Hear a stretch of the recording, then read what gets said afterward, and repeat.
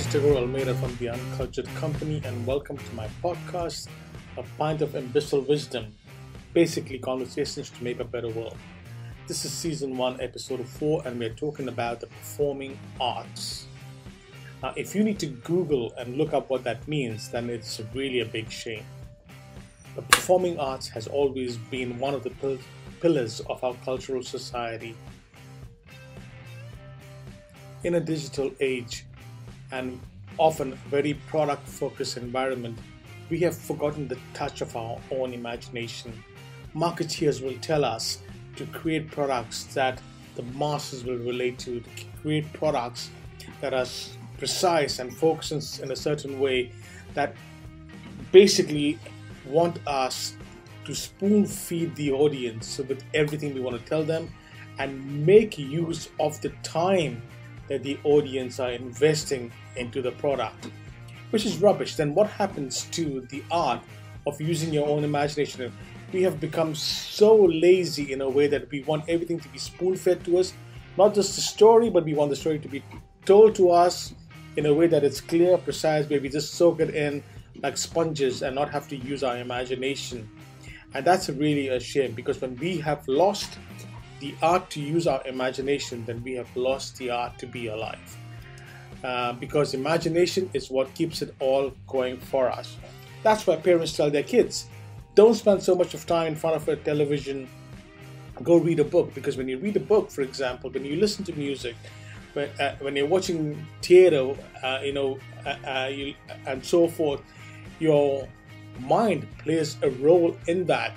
That you have to be able to go and listen to that and imagine what is you're soaking in. So today with me I have Ranjan Kamath, definitely a torchbearer of the performing arts, especially in India. He has dedicated his life to the cause. He's absolutely as genuine and sincere as they come. Uh, very old fashioned in some ways, but that's good because he talks about the discipline about being involved in these arts, you know, and he he dabbles with uh, theater, with cinema, with poetry, with music, with literature. And some of the initiatives that he does are absolutely mind blowing. He's keeping the traveling theater concept alive, where he's taking theater to living rooms. Uh, he's doing uh, a, a, great initiative where he's celebrating women and their struggles and their success stories. He's doing another thing where he's taking historic moments in India and he's connecting with people who were around uh, these uh, these events and getting their experiences as to what they were doing when these historical moments took place. He's also recording a lot of literature. He's been uh, uh you know onto Soundspace and trying to keep literature alive as well in in its true form. So I have with me today Ranjan Kamath, who is a performing artist. And when I say that, I don't just use that term loosely. If you look at what he's been doing and what he's invested his life into doing, it really is a immense, excuse me, immense pleasure to be able to talk to someone of his caliber. So, Ranjan, welcome to my show and say hello to all of us. Thank you, Tabo. Glad to be here. Yeah, oh, pleasure is all mine. So, Ranjan, before we go into our actual questions that we want to talk about, why don't you tell us a little bit about yourself, your background, and you know, I know that you were in London. Uh, you went to the the drama school of London. You did some work in the EU. You've been reading for the British Council. But give us a give us a just for everything about yourself. Okay, in brief, uh, I grew up in in Kolkata, Calcutta, which was probably the the best place to grow up in the country because whether you like it or not, you're immersed in two things: politics and culture. And uh, I I studied. I had a Jesuit education at St Xavier's, and uh, I graduated in political science because I, I, actually my my first inclination was to to become a diplomat. You know the and oh, so to, to, join the foreign service and all, all, all the idealism and the you know the which, which, which, which comes with that. Uh, but I think I was dissuaded along the way because, my, as one of my uncles who was in the foreign service said, I don't think you'll make a very good footmat.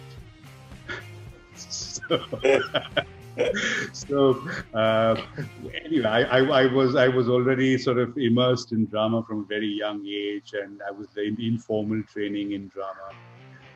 Uh, so, which is what I really wanted to pursue. I wanted to, you know, to to to do my postgrad in, in dramatic arts, but this was in the late mid 80s, early 80s, uh, when you know if you did go to drama school uh, what would you do back in India? You wouldn't be able to earn a living, and someone said, you know, you, you in the back row of some British production, you know, for, for a two-minute role, and that seemed a very bleak prospect.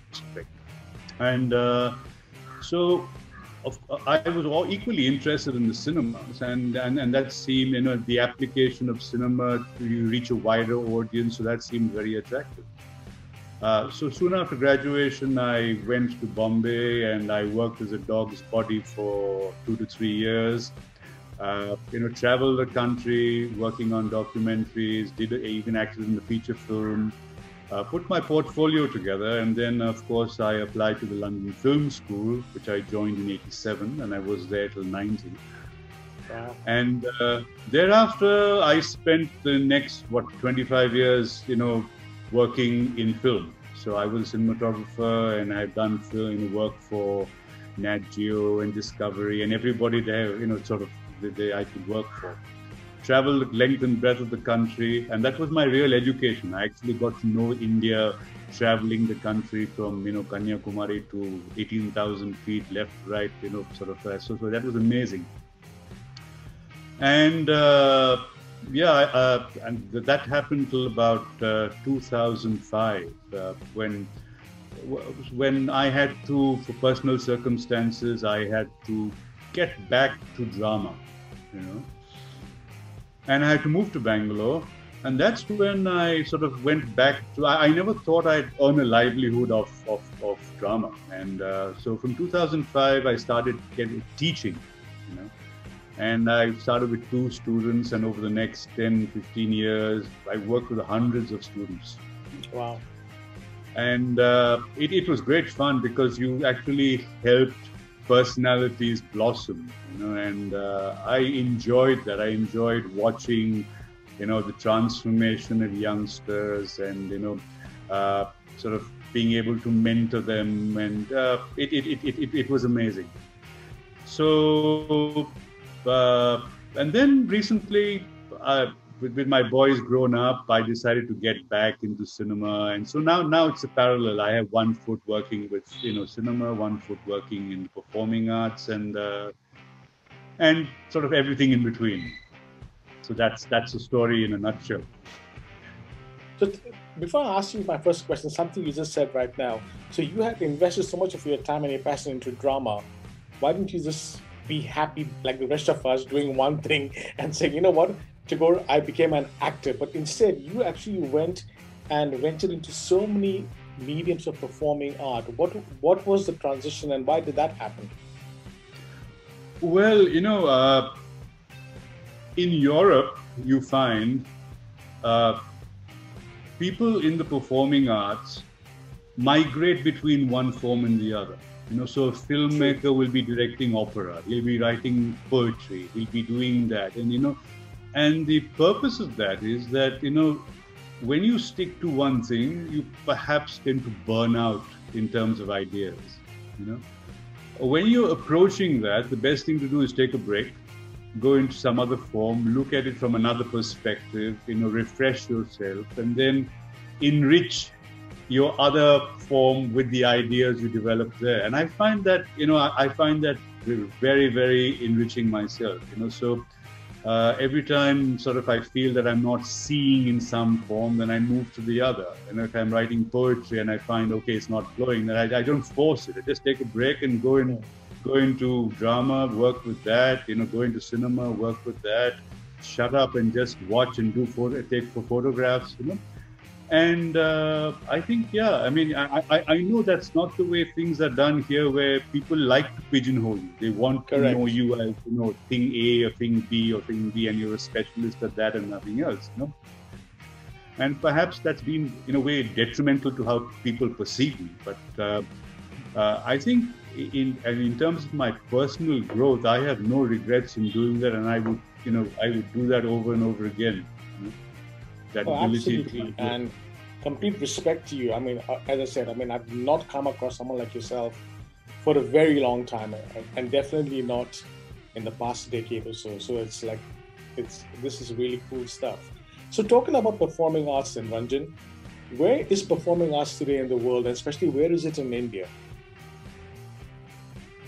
Well, uh, immediately post-pandemic, performing arts is, uh, I think, uh, you know, up shit creek without a paddle, which, which, which is, uh, you know, which, which, which is very, very unfortunate because I believe it is the most needed thing in terms of addressing the mental health uh, of of the planet, and it is it is getting the least priority and the least support.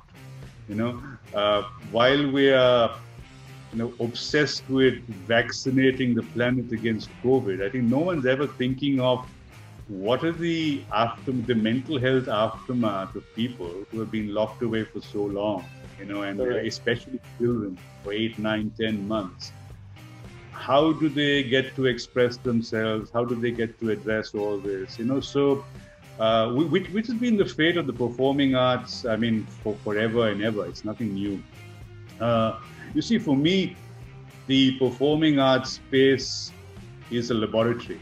You know, where you uh-huh. do everything that you can't do in the real life space, where you resolve it and then you go back and you apply it not to pay attention i mean like with any r&d work that you do nothing develops without r&d right correct so why do we discount that why do we discount performing arts? You know we, we, we always regard it as useless spaces the art the first thing to be dispensed dispensed with when, when, when there's a budget cut you know? Do you oh. dispense with r&d in anything else you do? It's it's it's critical to any work in science and tech, everything else. So how on earth can you remove R&D, which is the performing arts space, where you work out, you know, you work out your your your your, your problems, you work out, uh, you know, resolutions, solutions by playing characters, by being who you are not, and uh, then saying, well, wow, you know, I've resolved that, and you go back and you apply, you know. And the fact is that, you know, we regard the performance art space is something separate in our lives. It's something marginal, you know, it's what we do when we've got nothing else to do to time pass, in what we call. But we forget that every day, each one of us is playing multiple roles. You know, we're someone's son, we're someone's father, mother, we're someone's sibling, we're someone's friend, we're someone, you know, so any given day we're playing eight to ten roles, you know, which we seamlessly interchange through the day. And we don't call that a performance. Yeah. You see? But the fact is that we need to be at the top of our uh, of our game with each one of these relationships, you know, so, so to, to make the best of it. Yeah. So how do you do that? You do that in the performance art space and then come and apply it in real life. And you take real life and you, then you try it out again in the performance art space. Mm. So the mm. symbiosis is very critical to our well-being. You know? And if we if we sort of uh, do not allow children, you know, regard if we treat it as unimportant, then as I have been watching with uh, with uh, you know uh, with, with, sadness is that we are creating robots, you know, lacking empathy, and we we're seeing the aftermath of that across the world, you know. Correct, and I think a lot of it, at least especially in India, I think a lot of our off-screen emotions are influenced by what we see on screen as a reaction to certain situations, and and that's because we're just not connecting as our our honest selves, if you know what I mean. We're trying to emulate somebody, a character that we saw on screen, which is a fictional character. But I think we've kind of losing that line between reality and what's what's and what isn't. You know. You know, especially in I think in you know countries sort of east of the Suez, where conformity is the is the order of of the game. You know, where you're meant to social conformities. You know, and so the chance to express yourself is, is, is very little. You know, we, we, we are, you know, uh, sort of limited by, you know, caste, community, this, that, and the other. So where do you get a chance to express your individuality? If not in, where is the neutral space where you can do that? You know? And I think, you know, the more now, now it's got more and more rigid. So, you know, if you're pressure cooking in an environment like that, you know, and if everyone is pressure cooking like that, you're definitely going to have an explosion sooner or later in some form or the other. In the violence, the the way women are treated, and so on and so forth, endlessly. And we, we are seeing how it's manifesting itself. So I think, you know, that's that's where we need to create spaces where people can express themselves in some form or the other, performing arts, mm. literature, however, you know. But even there, we're imposing censorship. You can say this, you can't say this, you can't crack a joke, you can't do this. You know, it's uh, it's. Uh, I mean, it, it, it, pressurizing and creating conformity to the extreme. And uh, in in, uh, in especially in our country, I think the censor board has become more of a police board than being yes. a censor board, which yes. is yes. not what it was meant to be there in the first place. You know? Exactly. Uh, You're undermining yeah. the intelligence of, an, of a nation you know, by, by, by doing that. Exactly. I mean, uh, you know, like five people are deciding, deciding the cultural mindset of an entire nation, yeah. Uh, yeah. which, which, which is ridiculous. Which is ridiculous. So, deep diving a little more into performing arts, let's let's look at theater first. All right? mm-hmm. Now, once upon a time, there was there was quite a I wouldn't say a great theater culture, but there was a theater culture in India. All right, you had in Bombay, you had Prithvi, and you had all of these sort of you know uh, theater happening in Marathi, in in Hindi, in English. I'm talking about Bombay itself, and I'm sure there's you know regional theater happening all over India as well. Has theater now taken a back seat, okay, to people wanting to be actors in cinema? For whatever reason that may be, has theater become an afterthought? You think? Well, you know, theater has always had a tough time surviving, and you know, it, it has always required patronage. At some point of time, you know, there has been the state patronage, where I mean, giving grants to different groups to sustain. For example, I was very close to one of the most renowned groups in the country, which is Naya Theatre, Habib Tanvir's Naya Theatre, which has been in existence since 1958 and, uh, you know, if it wasn't for grants coming from the government, that group would not have been able to sustain itself. You know, and uh, the actors said that they've gone through three decades of work on what they call half thali. You know, so so it's about you know their, their entire life has been half thali. So today, those actors, whether they like it or not, will you know grab the first role in television or cinema and exactly that's what's been happening you know? So uh, those who really want to sustain themselves only through theater you know just simply cannot do so for because the the e- economy is not there to support it you know? I mean theater requires patronage and uh, if that generosity is not there then then you know uh, it, it simply can't survive. And anywhere else in the world, I mean, you know, Europe subsidizes their, their theater and their opera and their performing arts to the tune of billions of euros, you know, we, which, which is here, you, you, you, you can't get two paisa together to, to do anything. You know, so how on earth do you expect those who really love it to, to do it? You know, it's, it's just, uh, it's sad. So they have to migrate. So, uh, keeping keeping in uh, on the subject of theater itself, then I haven't met a single individual who said this to me. I want to be an actor in films, so I need to understand the discipline. But the moment you meet somebody who says, "I want to be an actor in theater," comes that whole mindset of like, you know, I need to have the discipline of acting, right? Mm-hmm. Why is that the case? You think that? I, I, and I'll say this again in especially in Bollywood cinema, which I'm slightly involved with, the people that I meet who want to act, you know, their you know what their uh, their biodata is. I worked on my body. Uh-huh. Yeah, that's it. They've gone to the gym and, and, and they've qualified to become a Bollywood actor. Right, right. If you're doing a stage show and somebody comes and says, I want to act in theater, they usually come with some sort of a bio data saying, I've been to this acting school or I've Yeah. act, acted in that.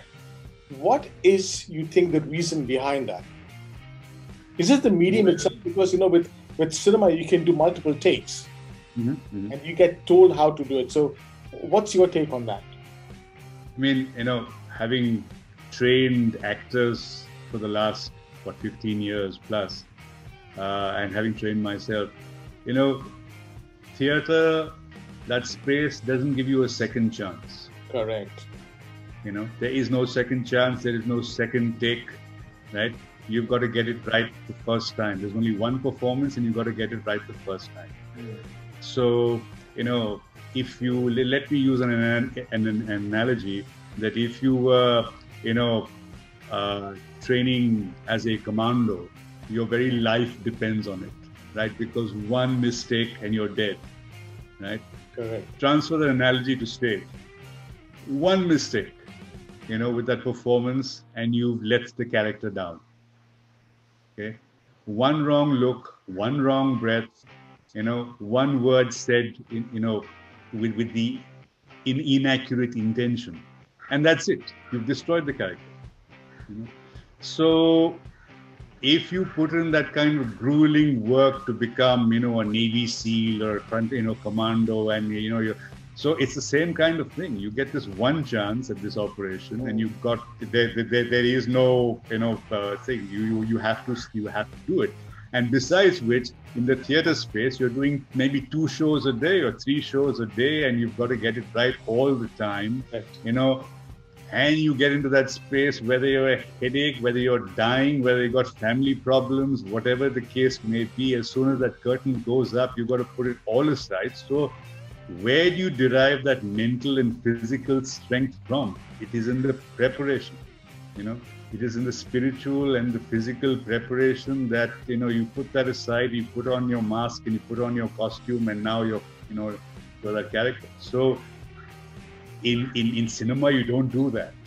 You know, in, in, in cinema, you you you know you, you you can cheat as much as you want. The camera is helping you cheat. You know, so so it's uh, it's it's it's altogether uh, different. I'm, I'm not saying it, it's an inferior form, which I don't think so, but it requires a different uh, you know a different methodology to performance. So I was reading your profile, and you did a transition from, and I wouldn't see a complete sort of move across the fence, but you moved from drama into cinema at some stage of your career. What was the reason for that, and and how and how did how different was it for you as an artist to be able to have one foot in both you know both sides of the fence? Well, you know, I, I grew up uh, doing a lot of drama. So soon after school, I mean, through school, and even after that, you know, there was a, so Calcutta was full of amateur amateur drama. But as I said, you know, once I went to film school, then I had to put drama aside, and then I was working in in, in cinema. You know, sort of. Uh, I mean, that was there.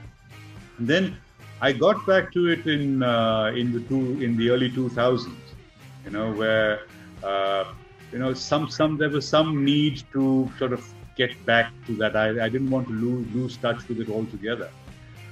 And uh, so yeah I, I, I got back you know I, I started training in Kalaripayat and uh, which i which i still practice. And that that helped me to develop myself. And uh, now i have you know it's, it's taken me the last two decades to now immerse myself significantly in in drama because I think you know quite simply it's a very important space because of its immediacy. You know what you can do in drama at zero cost. You know would cost a lot of money to do in cinema. Besides which, you know I believe that you can perform anywhere, anyhow, anytime is ways the way I do it.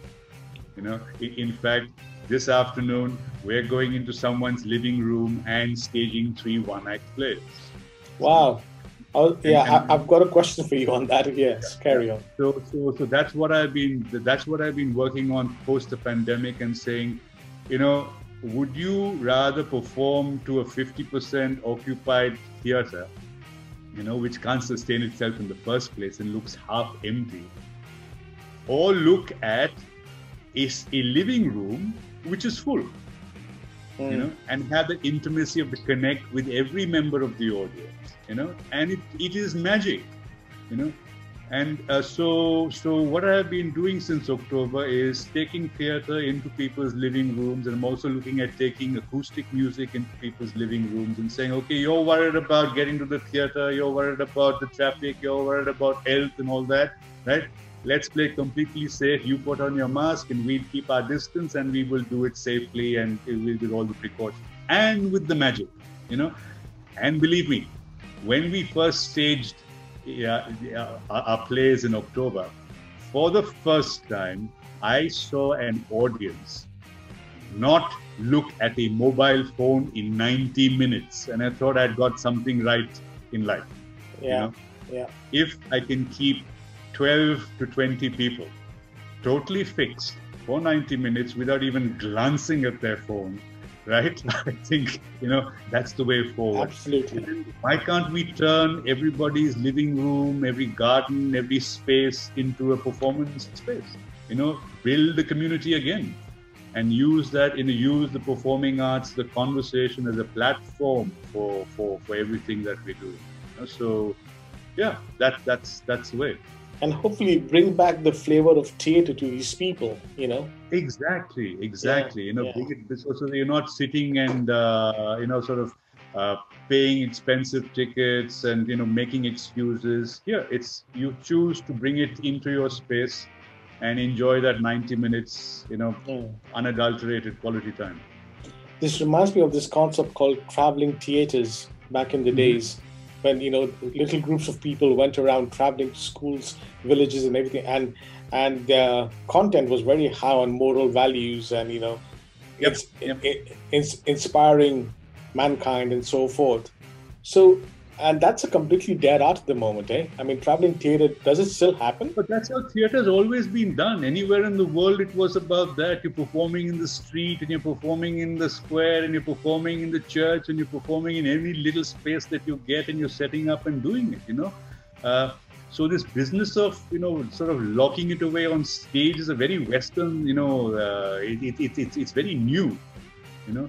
That you've locked it away, you've confined it to the proscenium. And, I think that it's perhaps one of the good things about the pandemic is that it's going to unlock that, and it should un- unlock that. You know, and it just op- you have to open up spaces because the economics is going to drive that, perhaps. How economical is it uh, doing theater, like you know, as a traveling theater artist, or doing it in living rooms for 20 people, for example? Is it really is it really feasible or is it not about the money at all? Well, uh, I would like to say it's not about the money. That's not true. Okay, okay yeah. But but uh, the way we're working is is that I I don't believe that theater can be transactional. You know, but so so so what's the mm. middle ground? Uh, because I think theater is beyond putting a value. You know, it, it, it's something special. So the way I do it is that I tell the audience, you make your contribution. You know? Yeah. So you decide whether it's been worth it. If you if you feel that you want to walk out and don't put a penny in the hat, that's okay. You know? But okay. I believe in, I believe in the kindness of of, of of, of humankind, and I believe that at some point of time, someone will say, "Guys, these guys put out so much of effort, so at least some amount is worthwhile." And I think in the long term, if we can build that way of doing things, you know, we, uh, I think that you know, just just trust the trust humanity, and you know, it will sustain that that that economy. You know, rather than demand you know 200 and 500 rupees and then people say that wasn't worth it and i could do this for that much of money and then yeah. you're devaluing theater you know and i think you can't afford to do that so that relationship becomes very special and whatever is given is is you know is accepted is is accepted gracefully and i think uh, in due course of time we will be able to sustain that way you know, because it is a zero cost form of doing it so you know Mm. If we can, we, with everything we're doing these days, it's about zero cost, zero whatever uh, effect of the environment. So let's see if we can leave a, you know, maximum footprint with with, with zero with at zero cost. And and here's the thing, right? I mean, in a in a in a house full theater, you don't know how many people are in there for the love of theater, because you know, for many it's a social thing to say, I went to the theater last night or people get gifted tickets by corporates and whatever. But in a living room, with the 15, 20 people that you have in there, you know that all 12, 20 of them have, have an investment into the art. Absolutely. Yeah. Not only into the art, into the emotion. Into the emotion you know, of it, correct. More important that you're sharing as you know human being to human being, and you're telling you know these 12 or 20 people a story directly, and they're listening. And I think that is really, really you know very precious. Okay. So, okay. Uh, I'm very heavily vested in cinema, by the way. Okay. Yeah. I mean, I, I prefer that as being my medium of expression. And mm-hmm. e- even though I don't do it full time, I've just done a couple of short films and I've been able to tell the stories that I want to tell. But yeah. I've noticed that our mainstream cinema in India, especially in Chennai, Hyderabad, and definitely in Bollywood, uh, in Mumbai, I think there's a certain thing that has happened where it's it's detached itself from the morals of humanity, you know, and what goes out there is something that will sell, something that is cheap. It's you know, it's and, and that's all it is.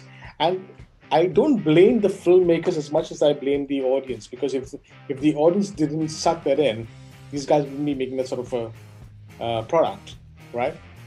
Mm-hmm. Given where we are today with our cinema, our mainstream cinema, how difficult do you think it's going to be for us to move back as an audience to be appreciative of the sort of work that you're doing? Well, you know, I think the uh, very fascinating things have been happening in cinema worldwide.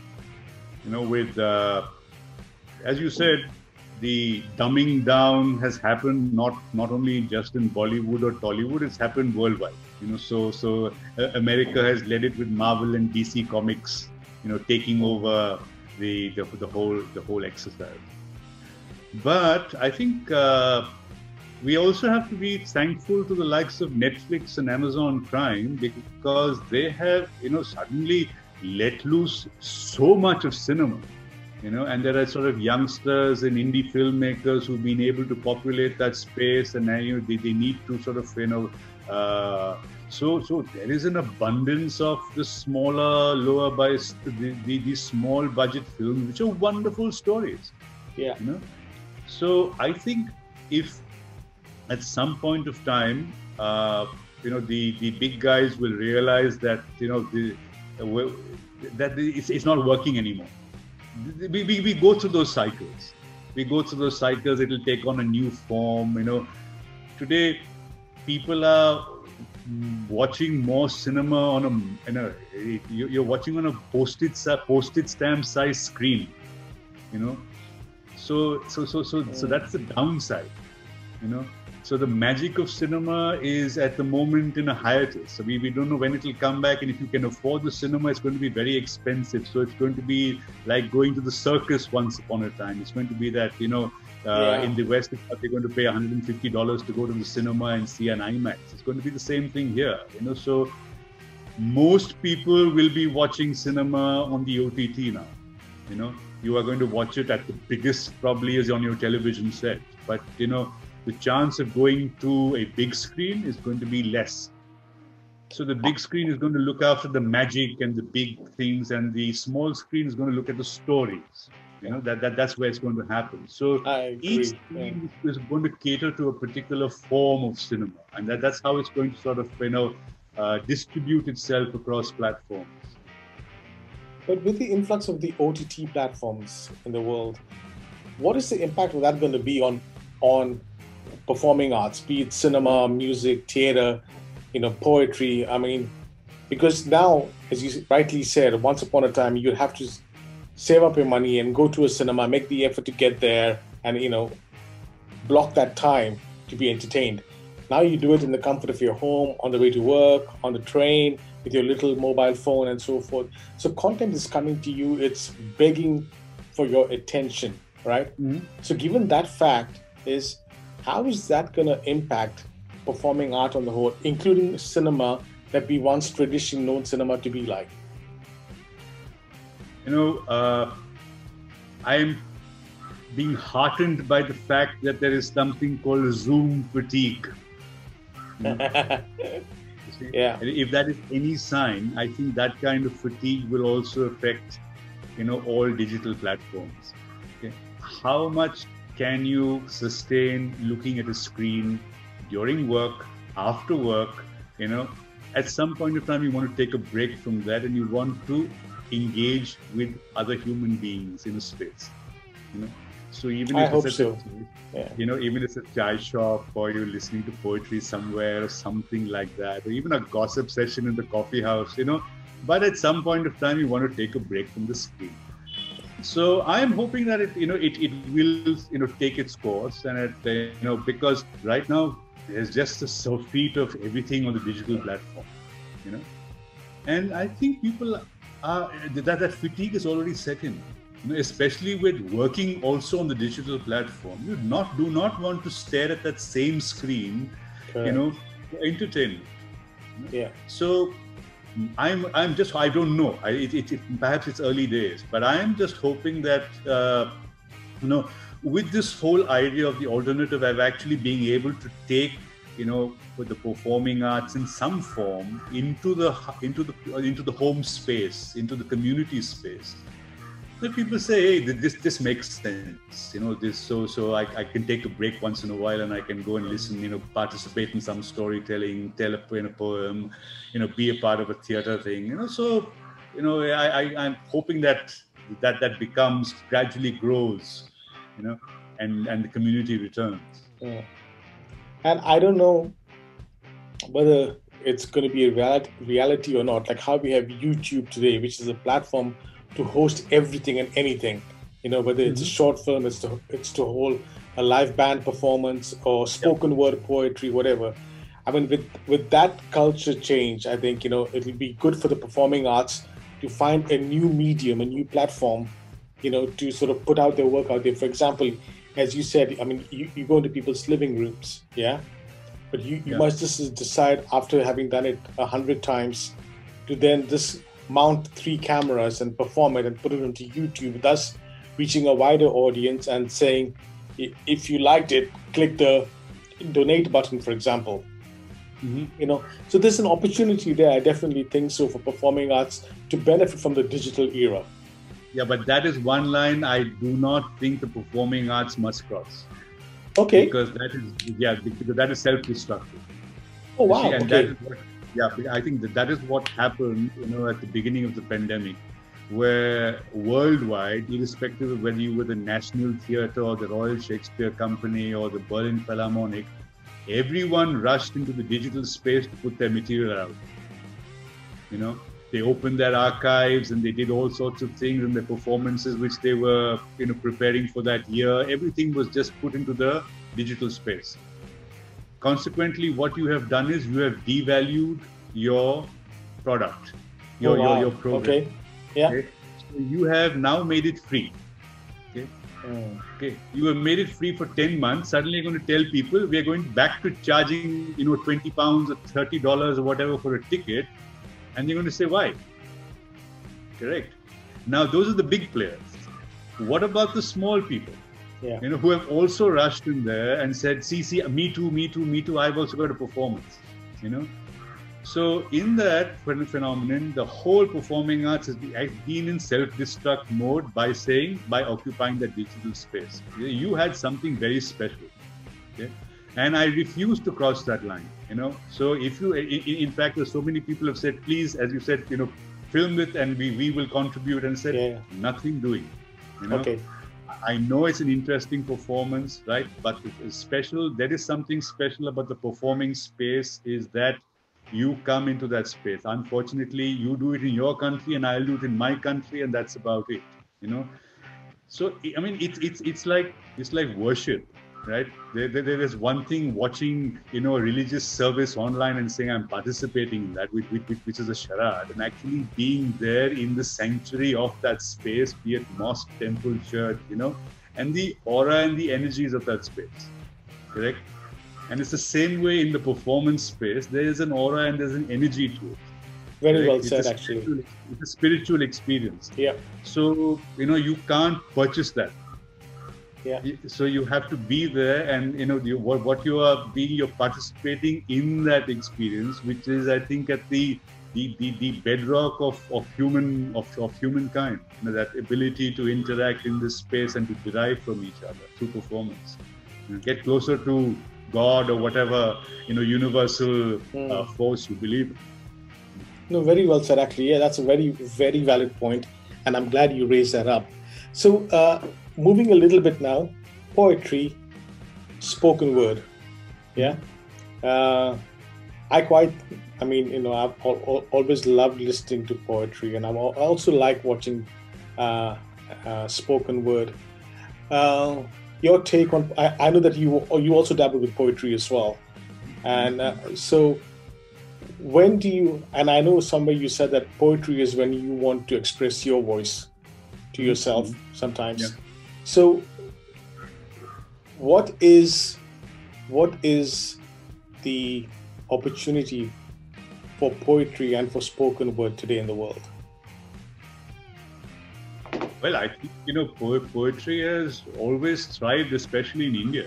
You know, where be it in even our song is a you know whether it's the Hindi lyrics, you know, film lyrics, whatever, it's always poetry.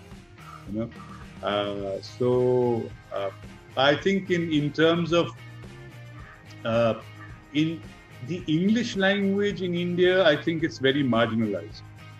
You know, it, it occupies more space in the in the other languages. yeah You know which is fair and uh, yeah, whi- whi- whi- which is which is fine. So so poetry, I, I think is uh, I mean, uh, the spoken word is has, has has always had its space because it's easy to do.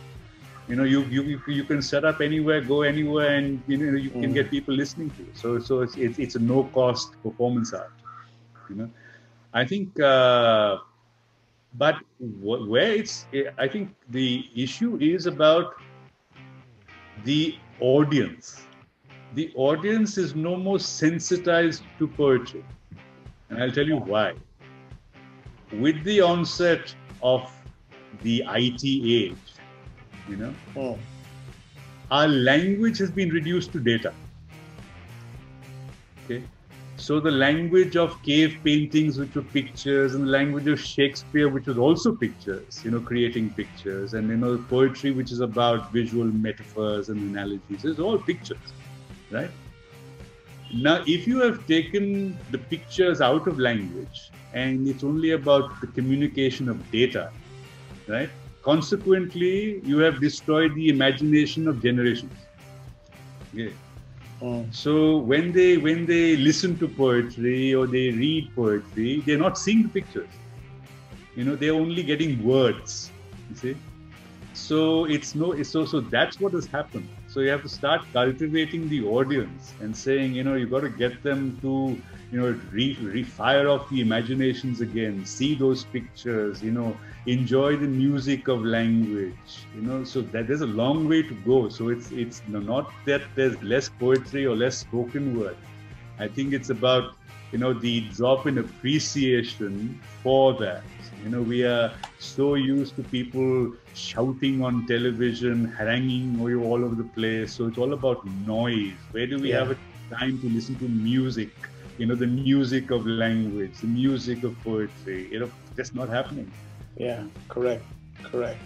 And that and that's the same thing happening with music. By the way, I'm, I'm glad you said that.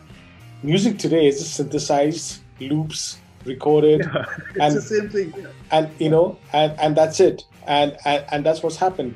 I very rarely, you know, uh, have seen come across a musician who's just picked up his instrument and played what his soul wants him to play. It's always trying to uh, imitate something or copy a loop from a song and you know modify it a bit and remixing it and whatever, which is an art in its own, you know, in its own way. But what's happening with music today? You think, especially in India, is there really a a market or a space for non-film music? I think there is. I think you know, I, just taking off on what you just said. I think a lot of the music is has become like electronic impulses, you know, which is meant to stimulate the brain and do nothing more. You know, so you just keep the brain on a high by pumping in this, you know, these frequency noises rather than anything to do with music. Having said that, I think uh, you know with the likes of the Spotify and the SoundCloud and all that, there's been a there is you know every musician now has a chance to to get out there and put their stuff out. Uh, but the point is that it's a very very crowded space, so you have to be doing something really outstanding or unique to stand out in the crowd. And I have found, I mean, I think uh, especially uh, you know in India music some some musicians are extremely well equipped to stand out. You know I, I have seen performances of jazz being done in carnatic style. I have seen mozart being you know performed vocally you know by by amazing stuff amazing performances you know. So uh, yeah I, I think it's really you have to push the envelope to come up with something really outstanding or you know it's to do with your lyrics or your voice or both you know but if you're part of the 99.9% who are doing cover, you know, other other people's covers, and you're sort of rehashing Pink Floyd and you know that kind of thing, that they that, that's it. I mean, you know, you you you you're past your expiry date. You know, or if, if you are copying reggae and putting in, you're copying uh, rap and putting it into form and believing that, I mean, we have our own rhythms you know so so why can't we work with that? Why do we have to copy something that's organically part of the black culture and then saying now we're making it ours and you rip it off? You know it's not happening you know use your bhangra for heaven's sake use use the use the carnatic rhythms there are so many rhythms in this country that you can put music to the baul singers you know for example of bengal you know? so every region has its traditions we're not tapping into those but we'll copy the, you know from, from from across the pond and bring it here, thanks to Bollywood, and then make a complete hash of it and believe that this is great. Mm, true. Uh, for, so we talked about cinema, we talked about music, we talked about poetry a bit. Fortunately, literature is still very much alive in India. We've had some great writers uh, on our landscape, and we still have a lot of literature festivals in India. So, where are we with literature, in your opinion?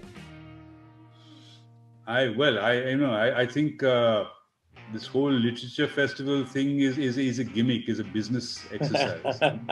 And if if if if if if, Chet, if Chetan Bhagat is our index of thriving literature, then then then then, then the situation is extremely depressing. Sorry, I shouldn't so, be laughing at that. Go so, so, so, so, so, I think it's, it's even more alarming than the COVID virus is Chetan Bhagat's literature you know. and if uh, be, be, between Chetan Bhagat and Sudha Murty being the benchmark for children's literature, you know, that that that that is not a good situation to be in. No. Yeah. Yeah. So so so I think I think you know uh, literature is caught in a bind. You know, there is no outstanding work coming out.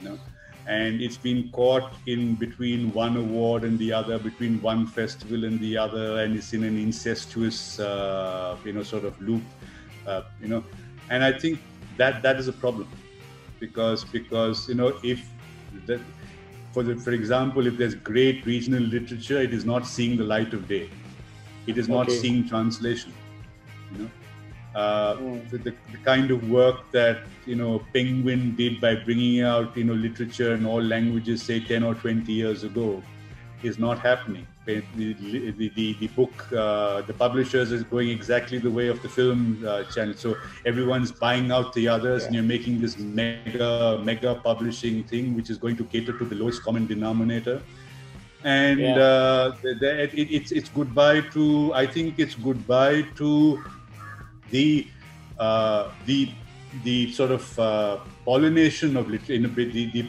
the, proliferation from one mm. language to the other. You know, yeah. because it's not that everything great is written in English.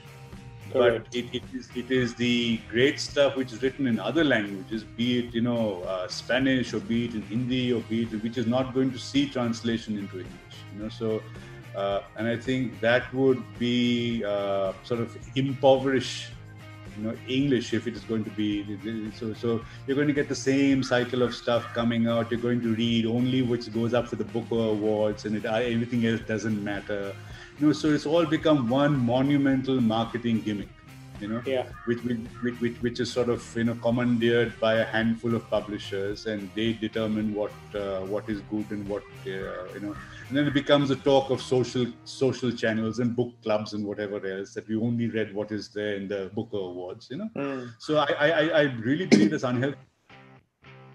Sorry, yeah.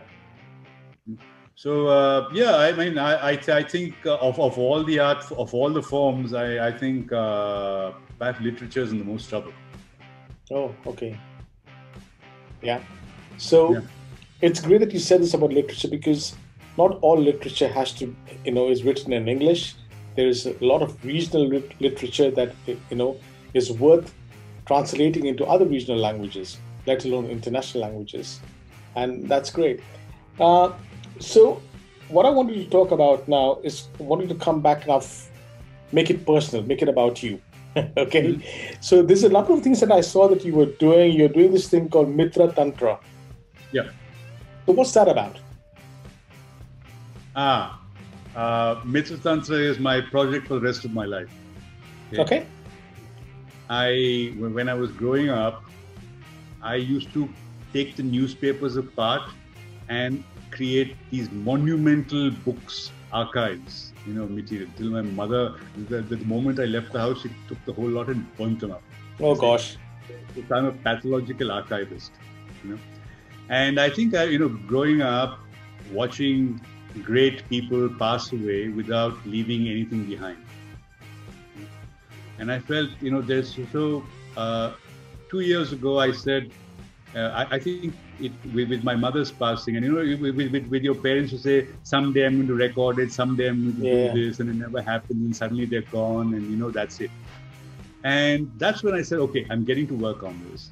And so this began uh, mid 2018, where I wanted to record people's life story. You know? without without any window dressing, whatever. Tell me about your failures. Tell me what you how why you know yeah. about what didn't go, go right and all that kind of thing. You know, so just meandering conversations.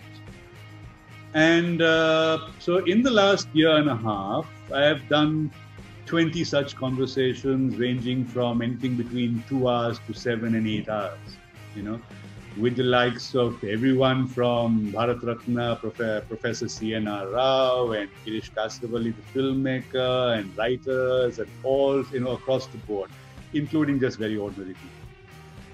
And it has been the most fascinating, exhilarating learning experience from all these people because about the wonderful thing when you ask people to tell their stories and you listen is they open their hearts up, you know and it's completely unedited, uncensored, you know, sort of great, great stuff from the heart. So once I record these stories, then I curate them into what is today the attention span of about 90 seconds to three minutes. So I break up a conversation into clips, you know, so that you can listen to as much as you want, like you would read a book. You know, maybe sometimes you'd read a page, sometimes you'd read a paragraph, sometimes you'd read a few pages before you, you so that ability to be able to do that, to, to, to treat a conversation like that and listen to as much as you want, you know, is, is what the object was. And yet that whole story is there for you to listen to. You know, the idea of a video autobiography. You know, so these archives, which are on YouTube right now, and uh, I'm still in the process of, uh, I'm, I'm constantly doing that, is about putting this material out curated so that it can serve tomorrow as an alternative to an education in school. Rather than read a textbook, you listen to a person. You know, you listen to what they did on Independence Day in, in, in August 15th, 1947. What were they doing? You listen to their experiences of partition. You listen to, you know, the kind of coffee that their their their, their, their grandmother made, you know, because there were no rations. So you listen to the, you know, uh, what they were doing in jail during the emergency. You know, so you get first-hand accounts of events. In this time of fake news, you get absolute straight horse's mouth, and you can create a 360 experience of an event without being there by virtue of listening to all these other people who've been there. You know, and very interestingly, what came of that is that you also get uh, a third person view like like it's you know you get biographies of people built on the accounts of other people who have interacted with them. You know so for example you know many people who have met jawaharlal nehru or met you know or, or moments with, uh, with, with with mahatma gandhi or with jp narayan or with indira gandhi or with other people you know. And so they, they recount their, their, their experience with them and you know where what what they were.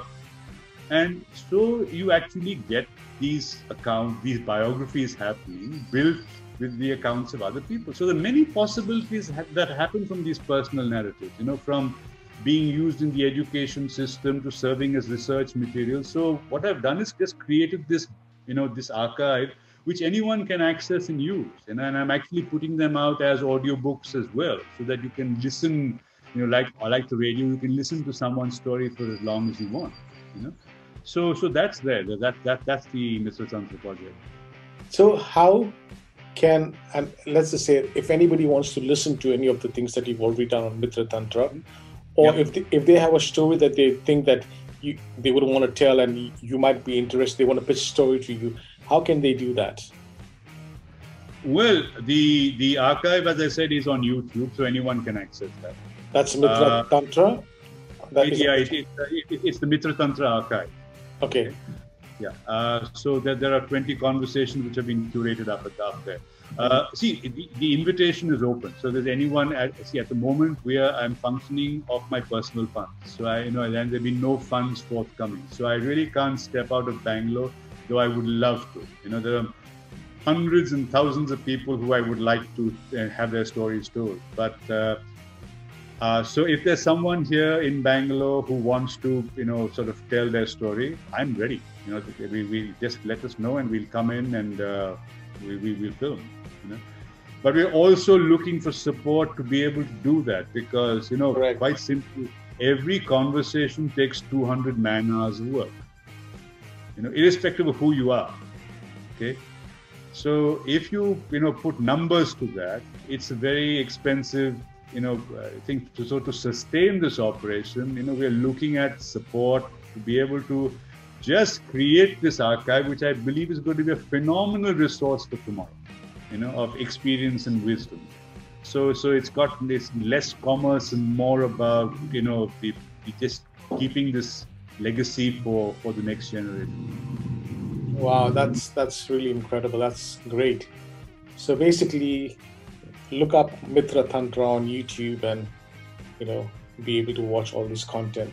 And uh, mm-hmm. another thing that you are doing, by the way, is this thing called an Aurat alone. Yeah, what, yeah. What's what's that about? An Aurat alone basically means a woman alone. Yeah. Yeah, that's right. That's right. So, uh, well, you know, uh, see, at the beginning of the pandemic, I, I, I, I've always wanted to sort of get theater going in Bangalore. You know, sort of uh, do do something here. But the problem is to get people to rehearse together. You know, they're no, not professional actors anymore who full time. So you've got to work with people's schedules. So the thought of actually trying to get a group of people together and work is well, well nigh impossible unless you know each other from college or whatever. You know? And then, of course, I had read these monologues, which were written by, you know, Dario Fo and his wife Franca Rame way back in the 70s. Amazing pieces of writing, you know, and they're so relevant and they deal with all the issues that women worldwide are dealing with, particularly in India. You know, so so and as Franca Rame wrote in in a, her introduction, in this in the late 70s, for the last 2,000 years, women have been going through exactly the same issues. Okay, so 2050, so, so 50 years after that, we're still doing the same, you know, the same. So I thought this these these stories are so relevant. So what I did was with this group of young performers, we have, you know, Indianized the stories, made them their own. We have, you know, to, oh. been telling these stories in the language of the performer. So if someone speaks Kannada, then it's a mix of English and Kannada. It's a mix, a mix of English and Bengali. You know, and uh, these are stories about women, about you know domesticity, sexuality, abuse, violence, rape. And the interesting thing is, you know, none of these stories sort of makes you know villainizes the other gender it's about understanding each other. So, you know, in this environment today where, you know, men are bad, women are good, the other way around, or whatever else, and oh. down with this and down with that, you know, it's more about, hey, listen, we're on this planet together and we have to coexist. So, how the hell are we going to make this work? And let's let's build a conversation around what I've been going through and why, and, you know, yeah. just understand, you know. And so, Now Aurat Alone is that. It's, it's about the stories of everyday women anywhere in the world, you know and to these are the stories that we're taking into people's living rooms. And we want to take them into living rooms anywhere. So it could be in a city, it could be in a town, it could be, you know, in the village square, it could be in a college cafeteria and say, let's use the theater as a platform for conversation about things we never discussed or we don't want to discuss or we're afraid of discussing or you know. Let's sit face to face and say okay we started here. This is the story right? Is this your story or isn't it your story? You know? So so that you know that solidarity within women to start with and then to say okay i never understood it this way for, for, for the other gender to come across and say of course now i see it from your perspective you know so that's the whole purpose of this project and you know to replicate it uh, you know, maybe with, with women elsewhere and just get the story told, you know, so that more more women are telling the story. Because you know, what happens is that every time you have a, a rape, then people are outraged for about 48 hours. You have a candlelight vigil for another, you know, a couple of days after that, and there's down with patriarchy on social media. At the end of the week, it's all forgotten. Yeah. You know? Then the next one comes along, and the same cycle of outrage happens, and it's it's you know hypocrisy to the extreme. Correct. So how do you sustain the conversation? Sustain the conversation by keeping it going, by you know saying, okay, this is the crux of the issues here. You know, so it's okay sloganeering, but if you get to the bottom of it, this is where it starts, and this is how we this is what we need to talk about, and this is how we need to resolve it. You know? So that's that's the whole purpose of an Aurat Alone, and uh, yeah, we we just very recently started. Hopefully that uh, you know it will it will it will catch. Okay, interesting. That's that's quite cool actually. Um, so another thing I wanted to ask you here, I'm just saying is, uh, one second, uh, keeping all of this now that we have the different mediums of of performing arts, and I know we talked about the OTT thing in here. Has have the stories changed over the years, or has this? I, I know the storytelling has changed in some ways, but do you feel that the stories are still the same? And I, am not saying I'm not saying it's wrong, but do you feel the stories have changed, or are they still the same? Still the human values. No, I see. I think uh, you know, with particular relevance. Let, us take Bollywood for example. You know, Bollywood has marginalized, or you know, sort of uh, the, the the story about the village is now extinct. You know? That yeah. was the crux of Hindi cinema yeah for so so long. Okay, today you know the village does not feature in mainstream cinema. It features in Marathi cinema. It features in some indie little little film somewhere. But so the stories are there, but the problem is that the market is deciding which story is important. You know, and it, it, it, it's always the teeny bopper story. It's about the young, you know, so it's catering to the American market rather than the Indian market. You know, so it's driven by that. So the stories which require to be told are not told because they're not profitable. Yeah. We're not telling stories. We're not telling stories about the breakup of family because it's an unpleasant subject. We find, you know. Of course, we will, you know, every time we want to tell stories about history, that story will be pulled down before it even begins because we're contesting that. Okay. Yeah. So, you know, all we are doing is we are creating these fictions on fictions and whatever else of these rosy pictures of, uh, of you know, of, of everything, uh, which are which are very shallow. So, so we, most of the time we are we are lifting stories from Hollywood anyway. So, so, so as you said, you know, the, the original stories are very, very few and far between. No, but so, I think also Ranjan. Sorry, I, I think that even if you're te- if even, even if you're focusing on telling human stories like a family breakup, we take that and put that in an NRI environment. It has to happen in London because these right. things these things don't happen in villages. They don't happen to normal right. Indians. Exactly exactly. Because then it will go against our culture and it will hurt someone's sentiments by doing that. You see so so so so we don't believe in divorce and we don't believe in this and you know all our families are rosy. So so there'll be some nonsense or the other which exactly. will start you know. But if you look at for example you know malayalam cinema and the other day there was this film about the great indian kitchen you know about the domesticity yeah. Now and these are amazing little stories which are coming up you know so, so I mean, I'm also thankful to the likes of Netflix and the OTT platforms that stories which otherwise, you know, would never have get to, got told in mainstream are finding spaces in in the OTT platform. The little stories, the the B town and the C town stories, you know, about aspiring youngsters, about you know whatever problems you have. So uh, the stories are going elsewhere. So they're still out there. Do you think that the OTT platforms is going to kill the star system we have in India? Uh, from what I read recently, all the stars have now. This is with reference to uh, with reference to America. All the stars are now on Netflix, so they've signed up. You know, Netflix is producing a prodigious amount of cinema, prodigious yeah. amount. All the stars of Hollywood are now working on Netflix films because there's a volume of work, you know. And anyway, mainstream cinema has become is, is working on CGI. So, so you barely require an actor most of the time. It's, it's about 90, 99% special effects and you know everything else. So, so you, you don't require performers there. Mm. You know? So they will migrate to spaces where they require performances. You know, so so I think the OTT is giving is going to create work and economy for a lot of performers. And hopefully some proper actors as well, not stars. I hope so. I hope so, yes. Yeah, yeah. yeah okay. Oh, okay, interesting. So, what's uh, what else is on your plate at the moment? I know you wear too many hats, but we've talked about Mitra Tantra, we've talked about uh, an Aurat alone. What else do you have on your plate at the moment? Well, uh, a flip side of that is all this other project called Audio Katha, where I want to transform into audio stories literature of India. You know, so so I've started off by recording myself with doing doing uh, you know there's the Panchatantra, there's the Sarita, the uh, Katha Sarita Sagara. There are such works of literature to which kids are totally unfamiliar.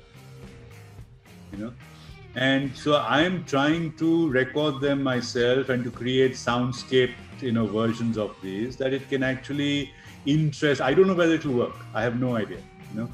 But i am doing it because i want to do it. And I, because there is such great literature out there especially you know the stories written in english between the 1880s and the 1930s remarkable stories, remarkable translations of, of, of literature, you know, uh, with the most picturesque language. And if at all one has to sort of revive the imagination, that's the kind of language one has to use, the flavor of English and whatever mm. else. So it, it's my, my, I'm just trying my luck at that and seeing maybe it will catch. I did the Just So stories. It was great fun doing it, and uh, you know we, have put it on the different uh, audiobook platforms, and it's been getting little trickles of sales. So that's great satisfaction. And then we take on the other work as well. So yeah, I got my plate full for for, for a long, long time to come, uh, and loving every moment of it. Wow, that's amazing, Ranjan. And I, I, I really hope that you get the support and I, I don't mean just financially, but you know, in every possible way. I hope you get the support to carry on what you're doing, especially to keeping the performing arts alive in India for sure. And I think it's important that, especially the thing that you do with the women, the stories that you're telling, you know, uh, of just a range of people, the audiobooks that you're doing about Indian history for our kids. I think that's it's so amazing to just hear all of that. And I think all of this also comes from the fact, besides your passion, there's also a discipline that you bring into each one of these art forms, correct? Because being powerful uh, in, in an art form without an education or a discipline is quite dangerous. And I think you know, that's. I, I, I think I realized this during the pandemic, especially, that it's very easy to just let the let the you know the mind and the soul slip, you know. In so uh, uh, and if once that happens, you're in trouble.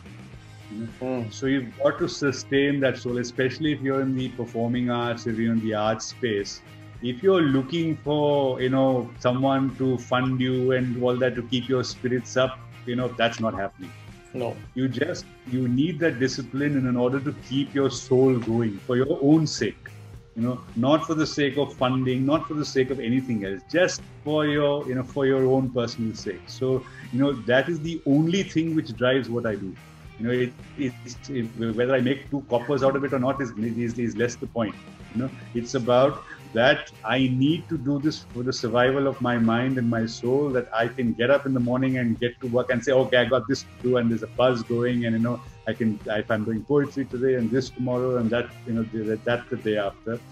Not for anybody else. It's for me. You know. Okay. And if anyone else wants to enjoy what I'm doing, they're most welcome. But uh, you know, if no one wants to look at it, that's not, not that, that's not a problem too. But you know, if I am if my purpose of doing anything was, you know, to only if I get likes and views and whatever else, then I'd be in a state of permanent depression, you know, because I never get more than half a dozen likes on anything I do anyway. So, okay. If, if, I cross six, my that, that's a good day. Oh so, wow! All of six, hey so so it, it is not for that you know it's just because i just like like the whole idea of doing it like the whole idea of the literature and meeting people and the stories and so on and so forth mm. how do people find you or your work online are you on social media yes i'm on facebook and i mean i have a facebook profile i am uh, ranjan kamath yeah yeah, yeah, Ranjan Kamath. See, I mean, I, I, I am, I, I think I'm very unschooled, or I'm sort of uh, illiterate in terms of how to handle social media. And so I have a presence there, but you know, I am certainly not uh, adept at at milking it like the you know the like the, the younger generation who are sort of you know default know how to use this whole system. Uh, so so I so I'm, I'm terrible at it. But uh, and besides which, I think it takes up a huge disproportionate amount of time you know if you are spending your time marketing yourself on social media on the multiplicity of platforms that are where do you have time to do something productive you know well finally somebody who thinks like me I, I, i've been written off told off by all my social media and marketing friends saying that I, I, I do no justice to what I do because I don't market myself. And I just think about it and I say, what I do is here and I've, I've put it onto the platform. I don't know how to market it because I always I, I, am completely I could be completely wrong on this, but I think marketing is about telling a lie. And, exactly. And my marketing so, friends hate me for it. Yeah. Yeah, yeah, yeah, yeah. Absolutely. I, I wholeheartely agree with you, and I think we should start a sanctuary. Maybe, maybe you should do a series called Endangered Species. Yeah. for all these Luddites and Neanderthals you found, you know, yeah. who, who, have no unschooled in the digital media. Absolutely. Know, yeah. just create this club and survive together and, you know, drink, drink, drink that old monk or beer or whatever in the virtual space. So I have a very dear friend of mine here in Singapore, and he's a marketing guru. Uh, mm-hmm. traditionally and now also digital marketing guru, and he's worth his two cents I know that he works for a great FMCG global corporate. And the only thing that we don't see eye to eye is the fact that I don't, I create content, but I don't market it. And his lesson to me once was, you need to work backwards. So I, w- I wanted to do something on men- mental health. I wanted mm-hmm. to do a mm-hmm. short film based on mental health. Mm-hmm. He said, he came to me and said, mental health day is so and so. Next year, you know what the date is, now work backwards. I said, no, it starts with the story I want to tell. Then I'm going to decide on how I want to tell that story, cinema or poetry or whatever. And that's what I'm going to do. I don't mm-hmm. want to work towards a date when I want to release it and then work backwards and put in a marketing camp. I said, no, I, I don't get it. And until I met you, I thought I was completely in the wrong. But I'm so glad you you you. Uh... No, but I mean that that's been the phenomenon ever since you know editors were not needed at newspapers and you had managers. Okay? Yeah. So the same managers are looking after film studios, newspapers, every form. You know, the the, the, the creative mind behind it have all disappeared into so or in, into extinction or near extinction or whatever. So so it's it's a phenomenon which has occupied every every creative space, you know. And marketers and we, we, we, we're all on the opposite side of the tracks. We never see eye to eye on people, yeah. you know. And but we live he, the world. No, but here's a question for you. Say somebody comes up to you and says, Hi, Ranjan, I'm a PR person and I want to actually do some work for you for free, promoting your, you know, all your initiatives. What would your take be on it? I would give them my address. Because, because that that is as fictional as as the unicorn, right? it's as as mythical a creature as the yeah. unicorn go. If you find this person, let me know. Right of between course. the Loch Ness monster and unicorn is of this course, fellow. Of course, of course, of course. Whatever. You know, every time I have suggested that to someone and say, listen, you know, I am no good at marketing, but I'm quite happy that you take this and you market it and you make whatever percentage you want of it. I've got no problem with that because I'm unschooled in that. Yeah. It never happens. It absolutely never happens because they say everyone wants the money up front. Okay? Yeah. And I say I have none. All I have is is, is my body of work. Yeah. You know? Yeah, so so and, and I believe it's worthy of you know for not, not, not to make money of it, but at least to share with other people what I'm. You know? So so I I would please please if, if this person comes into your life, you Done. know, please let them know. Here, here's a promise on air. Done. Yeah. Ranjan, it's uh, been great, great talking to you. It's such a pleasure. As I said to you, at this before I could press record, I usually focus on the topic and then and then on the individual. But in your case, I've just wanted to just know, soak in all of what you do, what you represent, and I'm so glad that we did this chat because it's you're like a dinosaur. You know, uh, you there's not many of you left, and I'm so glad that I've had the opportunity to connect with you and and have this time with you. And I hope that we'll always stay in touch, and our paths will cross going forward. And uh, I like the dinosaur reference before I fossilize completely. yeah, well, that is so heartening to well, dinosaurs yeah, are coming back. yeah. It's been great fun. It's been great fun talking, yeah. and uh, I'll see you again when you do the endangered species series.